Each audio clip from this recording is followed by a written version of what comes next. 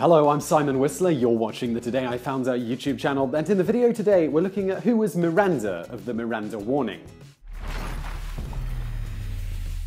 In the 1966 landmark Supreme Court case Miranda and Arizona, it was made clear that the Constitution requires the police to warn criminal suspects in custody that they have the right to remain silent and that anything they say may be used against them and that they have the right to an attorney, even if they can't afford it.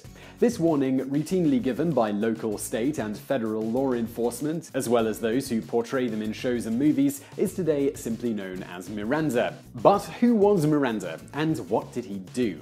Born on the 9th of March 1941 in Columbus, Arizona, or sometime in 1940 in Mesa, Arizona, it appears Ernesto Miranda had a very troubled childhood. Although few official records exist to support a biography on Miranda with the accuracy level we normally strive for here, a handful of otherwise reputable sources do offer some details purporting to be of his early life, which we'll try to piece together as a very brief biography on the man before his more well documented exploits, which led to the Miranda warning.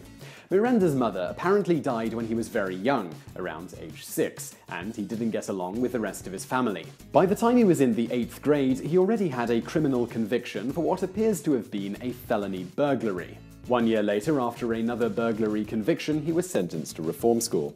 After serving a two year sentence, now 17, Miranda moved to Los Angeles, where he seems to have been charged and held on suspicion of armed robbery and sexual offenses, purportedly being a peeping Tom.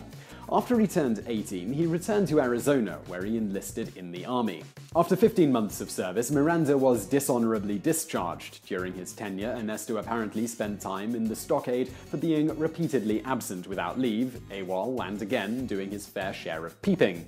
The army ordered him to have psychiatric counseling, but he reportedly only attended one session. After his dishonorable discharge, Miranda slowly made his way back to Arizona, and, true to his modus operandi up to this point, he spent time in jail in Texas for vagrancy and in federal prison in Ohio and Lompoc, California for stealing a car and taking it across state lines. In 1963, Miranda moved with his common law wife and daughter to Mesa, Arizona, where he seemingly tried to go straight, taking a job at a loading dock in Phoenix. This brings us to the much better documented part of Miranda's life and the series of events that led to him being remembered today.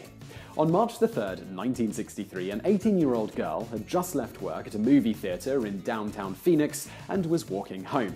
It was then that she was approached by her kidnapper, who held a knife to her throat, told her not to scream, and held her hands behind her back, put her in the back seat of a car, and tied her up. Rather than call out or otherwise attempt to escape, she did what many would have done with a knife to their throat, reportedly freezing, feeling she did not have time to do anything. She was driven for approximately 20 minutes, after which her assailant untied her and removed her clothes, although she tried to push him away and asked him, please don't, and please let me go.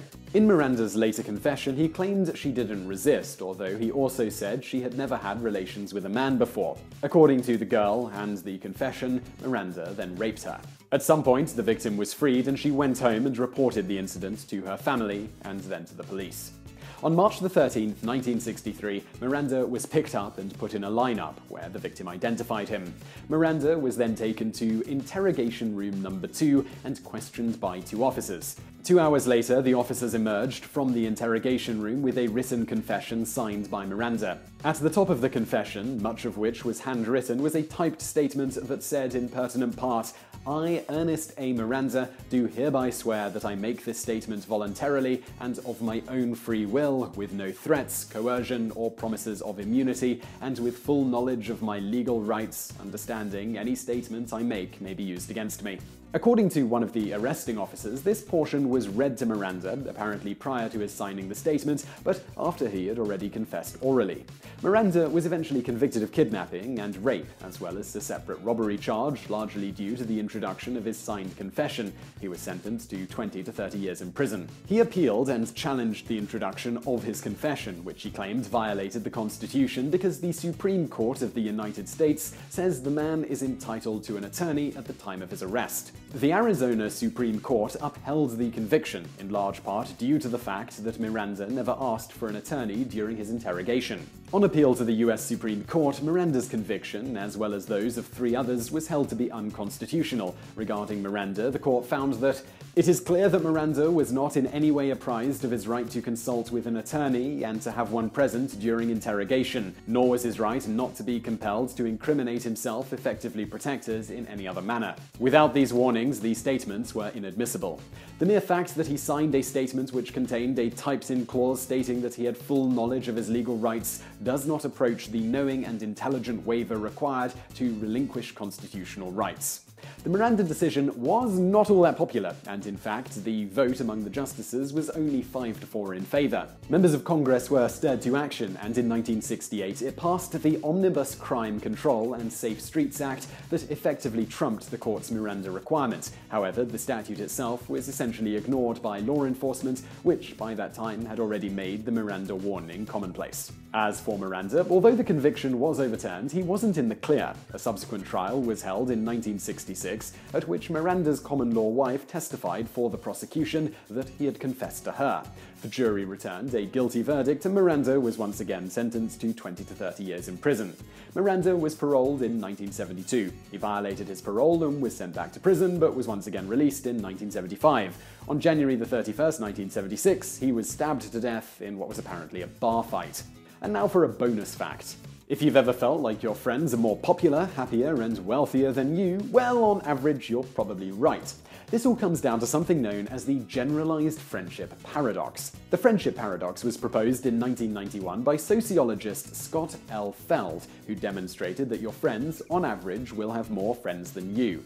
How? Because most people have a very small number of friends, but a small percentage of the population has a relatively large number of friends, and you are likely to be friends with at least one of these super popular people, precisely because they are very popular. Thus, the average number of friends each of your friends has will be more than the number of friends you have, Similarly, your followers on Twitter, Facebook, and other social networks will, when averaged, have more followers than you. This has since been shown to also apply to things like the number of sexual partners your partners over your life have had. It will, on average, be more than the number you've had. Further, it has also been demonstrated mathematically that this also applies to your friends, on average, being wealthier and happier than you are.